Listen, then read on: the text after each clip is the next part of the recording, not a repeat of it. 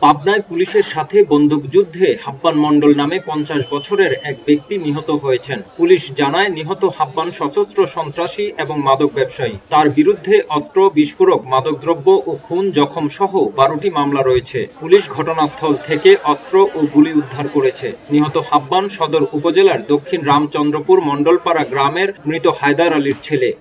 পাবনার police super Sheikh Rafiqul Islam জানান, সদর উপজেলার হেমায়তপুর ইউনিয়নের চর শিবরামপুর সুইচ গেট সংলগ্ন জৈনক বাবুলের কলাবাগানের মধ্যে একদল সশস্ত্র সন্ত্রাসী অপরাধ সংগঠনের জন্য অবস্থান করছে। এমন সংবাদের ভিত্তিতে বুধবার দিনগত রাত দুটার দিকে পাবনা সদর থানার পুলিশের বিশেষ দল সেখানে অভিযান চালায়। পুলিশের উপস্থিতি টের পেয়ে কলাবাগানের মধ্য হতে সশস্ত্র সন্ত্রাসীরা পুলিশকে লক্ষ্য করে এলোপাথারি গুলি ছুটতে থাকে।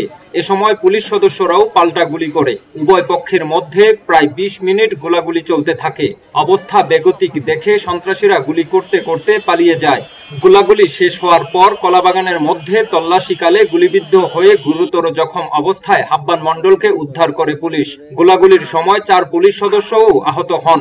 গুরুতর আহত সন্ত্রাসী হাব্বান সহ আহত পুলিশ সদস্যদেরকে চিকিৎসার জন্য পাবনা জেনারেল হাসপাতালে নিয়ে ভর্তি করা হয়। চিকিৎসাধীন অবস্থায় বৃহস্পতিবার ভোর সাড়ে চারটার দিকে কর্তব্যরত চিকিৎসক হাব্বানকে মৃত ঘোষণা করেন। পুলিশ ঘটনাস্থল থেকে একটি রিভলভার, পাঁচ রাউন্ড তাজা গুলি, পিস্তলের দুটি গুলির খোসা উদ্ধার করে। অবস্থান করছে কলা ক্ষেতের মধ্যে। আমরা সংবাদ পেয়ে আমাদের অফিসার ফোর্সরা দ্রুত সেখানে যায়। যাওয়ার পরে হাব্বানের লোকজনরা পুলিশের উপস্থিতি টের পেয়ে অতর্কিত পুলিশকে পুলিশের উপর গুলি বর্ষণ করে, গুলি নিক্ষেপ করে।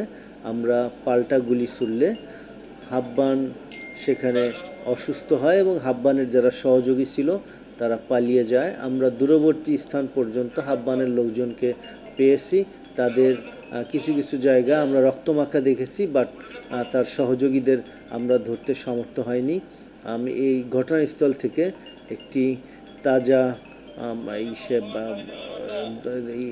একটি রিভলভার পাঁচ রাউন্ড রিভলভারের তাজা গুলি এবং দুই রাউন্ড পিস্তলের গুলি আমরা সে উদ্ধার করেছি এবং তাদের কাছ থেকে আরও বেশ কিছু সরঞ্জামাদি আমরা উদ্ধার করেছি।